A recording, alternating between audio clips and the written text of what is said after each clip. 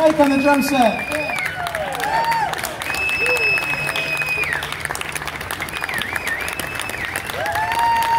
Thank you for joining us for this very special guest performance. And enjoy the rest of your day here at Disney Springs.